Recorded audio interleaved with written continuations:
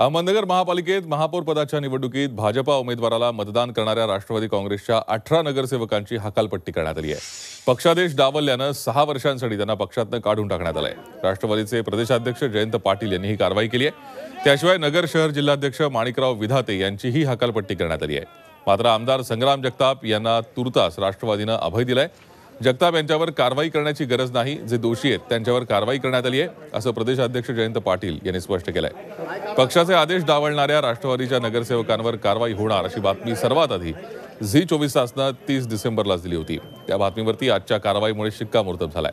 दरम्यान पक्षातून हकालपट्टी झाली तरी या अठरा नगरसेवकांचं नगरसेवकपद शाबूत राहणार आहे. हे नगरसेवक महापालिकेत वेगळा गट करू शकतात.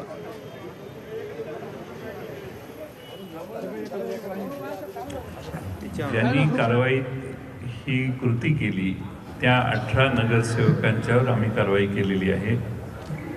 ही कृती करत असताना ही घटना पक्षाच्या वरिष्ठांना आमच्यापर्यंत कळवण्याची जबाबदारी ज्यांची होती त्या नगर शहर जिल्हा अध्यक्षांच्यावरही कारवाई करण्यात आलेली आहे.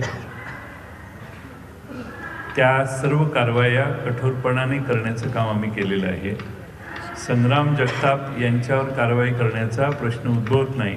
कारण जे अठरा नगरसेवक आहेत त्यांच्यावर आम्ही कारवाई केली आहे. शेवटी कॉज ऑफ ॲक्शन काय होतं तर त्यांनी केलेली चुकीची कृती आणि त्यांच्यावर आम्ही कारवाई केलेली आहे.